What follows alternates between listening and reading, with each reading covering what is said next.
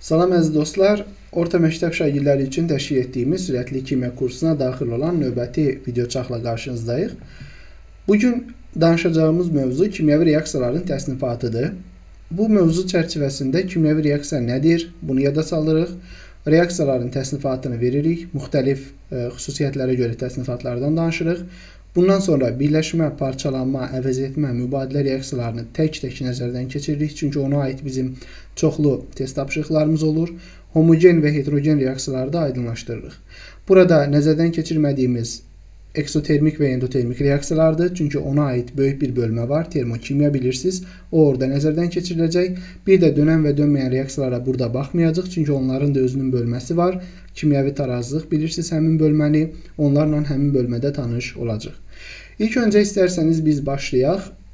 Reaksiya nədir? Bunu yadınıza salmağa. Dedik ki, kimyəvi reaksiyalar əslində kimyəvi hadisələrin təsvir formasıdır. Bir kimyəvi hadisə baş verir. Misal üçün hidrogen oksigenlə reaksiyaya girir və su əmələ gəlir. Bu bir kimyəvi hadisədir.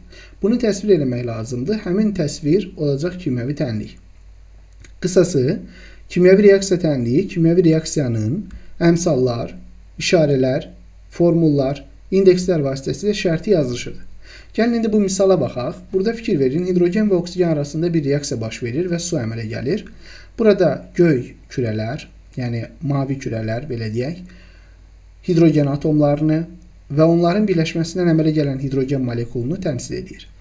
Qırmızı rəngli kürəciklər oksigen atomlarıdır və onlar oksigen molekulunu əmələ gətiriblər. Hidrogen oksigenlə reaksiyaya girdiyi zaman su əmələ gəlir. Aşağıda fikir veririk ki, suyun formulu H2O-dur. Deməli, bir su molekulunun üzərində 2 hidrogen, 1 oksigen atomu olmalıdır. Və belədir də burada.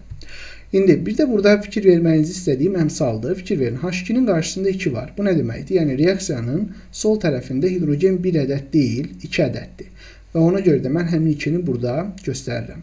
Sağ tərəfində də yenə də su molekullarının sayı 2 ədəd olduğu üçün mən həmin o 2-ni bura əlavə eləyirəm. Maddə kütləsinin saxlanması qanunundan bilirsiniz ki, reaksiyaya daxil olan maddələrin kütlələrinin cəmi reaksiyadan alınan maddələrin kütlələrinin cəminə bərabər olmalıdır və bu qanunun tələbinə görə bu tənliklər əmsallaşdırılır və bu da əmsallaşdırmadır. Düşünürəm ki, kimyəvi reaksiya tənliyi aydındır və ona görə də növbəti slaydla davam eləyək. Kimyəvi reaksiyaların təsnifatına baxaq. Baxaq görək kimyəvi reaksiyalar necə təsnif oluna bilir və hansı əlamətlərə görə təsnifat mümkündür. İlk öncə reaksiyaya daxil olan və alınan maddələrin say və tərkibinə görə bir təsnifat var. Bura daxildir birləşmə reaksiyaları, parçalanma reaksiyaları, mübadilə reaksiyaları, əvəz etmə reaksiyaları. Bunlar, bu 4 reaksiya tipinin hər biri bu slayd içərisində izah olunur. Sonra, reaksiyanın bir cinsi və ya müxtəlif cinsli mühitdə baş verməsinə görə də reaksiyalarımız homogen və heterogen ola bilir. Əgər reaksiyada iştirak edən reagentlər eyni aqreqat halına sahibdirlərsə, Belə reaksiyalar homogen reaksiyalardır. Müxtəlif aqreqat halına sahib olurlarsa, belə reaksiyalara heterogen reaksiya deyirik. Homogen və heterogen reaksiyalar haqqında öyrənərkən, homogen və heterogen qarışıqlar haqqında olan bilikləriniz sizin çox köməyinizə gələcək. Növbəti reaksiyanın istilik effektinə görə. Dedik ki, reaksiyalar istilik effektinə görə endotermik və eksotermik ola bilir. Yəni istiliyi ayıran reaksiyalar və istiliyi udan reaksiyalar. Buna görə təsnif olunurlar. Reaksiyalar istiqamətinə görə dönən və dönməyən reaksiyalar olur. Yalnız bir istiqamətdə getməsi mümkün olan reaksiyalara dönməyən reaksiyalar deyilir. Eyni zamanda hər iki istiqamətdə baş verməsi labüd reaksiyalar dönən reaksiyalardır. Bunlar haqqında biz növbəti slaydlarda ətraflı danışacağıq.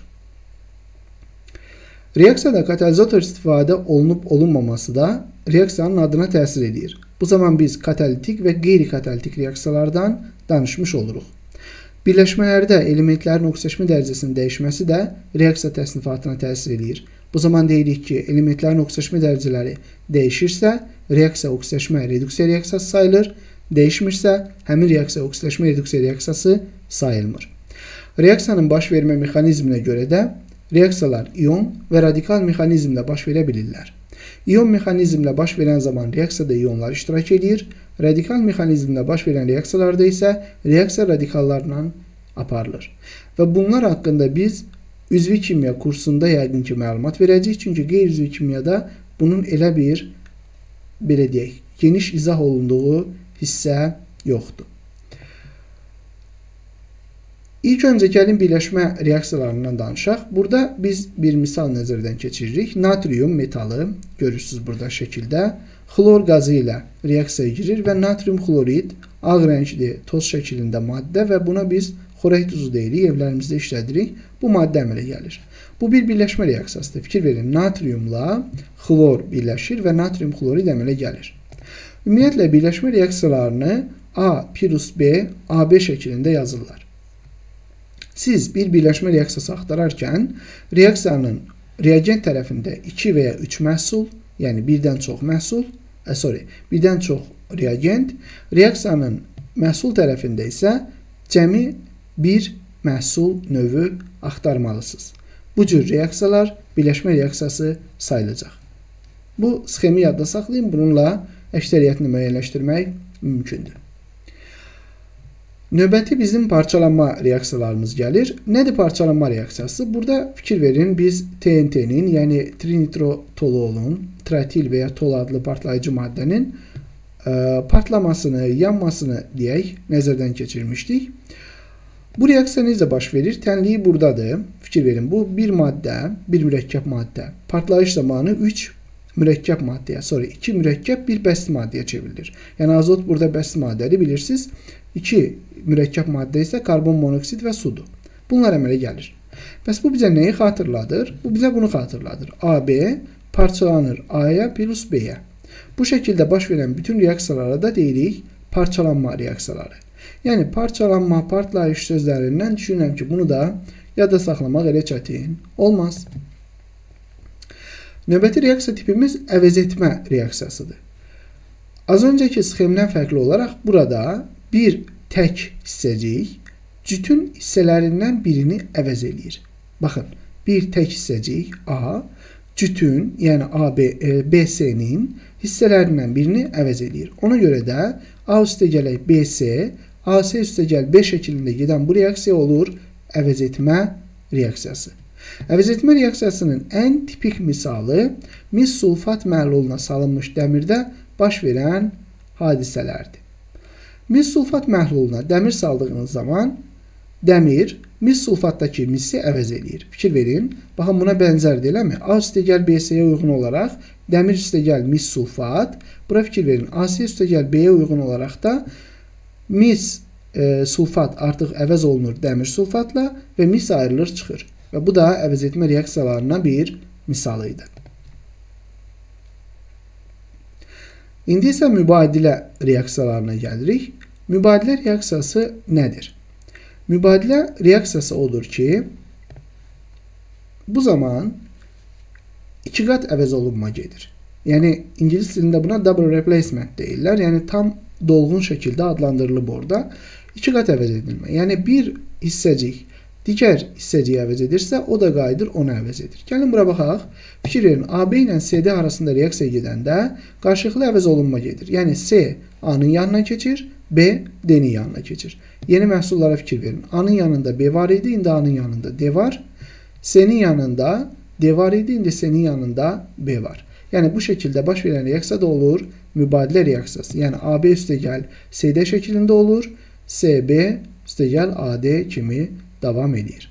Misal üçün də burada maqnezium oksidlə kalsium sulfid arasında gedən reaksiyanı misal göstərmişik. Baxın görürsünüzmü? Maqnezium oksid artıq maqnezium sulfid olub. Yəni maqneziumun böyründəki oksigen öz yerini kükürdə verib. Kalsium sulfid isə artıq kalsium oksid olub. Yəni kalsiumun yanındakı kükürt öz yerini oksigenə verib. Bu da bu şəkildə əyani təsvir olmuş oldu. Növbəti biz danışırıq homogen və hidrogen reaksiyalardan. Bunu katalizator üzərində izah etməyi daha vacib bildim. Çünki ən azından katalizatorla da müəyyən qədər tanış olarıq. Öncə katalizatora baxaq. Deyirik ki, kimyəvi reaksiyanın sürətini artıran və ya azaldan, mən burada dəyişdirən yazmışam, reaksiya sonunda miqdarca dəyişməyən maddələrə katalizator deyilir. Yəni katalizator nədir? Katalizatorlar kimyəvi prosesi sürətləndirirlər və ya prosesin sürətini aşağı salırlar, amma özləri prosesin sonunda miqdarca dəyişmirlər. Yəni sərf olunmurlar prosesə. Bu şəkildə. İndi burada biz homogen reaksiyanın necə baş verdiyini, yəni homogen katalizin necə baş verdiyinə baxırıq. Baxın, reaksiyaya girən maddələrin hər ikisi qaz halındadır. Yəni bu proses qaz halında olan maddələr arasında gedir. Bu zaman proses olur homogen proses. Bura fikir verin.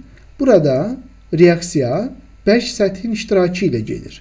Ona görə də bu proses olur heterogen proses. Çünki əgər maddələrin özü qaz fazanı təşkil edirlərsə, katalizatorum artıq bərk fazanı təşkil etdiyi üçün bu zaman bərk və qaz arasında gedən reaksiya heterogendir. Bir qədər qəliz izah ola bilər. Burada bilməli olmalı olduğunuz odur ki, sadəcə bərk qaz, bərk maye, bir-birində həll olmayan iki maye arasında baş verən reaksiyalarımız olur heterogen reaksiyalar. Bu arada bərk-bərk arasında baş verən reaksiya da heterogen reaksiyanın xüsusi halıdır. Çünki bərk maddələr reaksiyaya girdiyi zaman reaksiya bu bərk maddələrin öz səthində yox, bərk maddələrin qovuşduğu fazada, yəni aralıq fazada baş verir. Bunu da yadda saxlayın. Bundan başqa bir-birində həll olan iki mayenin və ya iki qazın reaksiyası homogen reaksiyalara aiddir. Bunu da bu şəkildə yadda saxlayaq. Burada bir dənə e, çaşdırıcı olan yenə deyirəm, bərk-bərk reaksiyasıdır və bilməlisiniz ki, o reaksiya homogen deyil, heterogen reaksiyadır. Videomuz burada bitdi. Qısa oldu. Bilirsiniz nə etmək lazımdır və bizim quizimiz də var. Həmin quizi də işləyib cavablarını göndərin və biz də görək siz bu videonu nə qədər başa düşmüsünüz. Diqqətiniz üçün təşəkkür eləyirəm. Növbəti video çarxda görüşərik. Hələlik.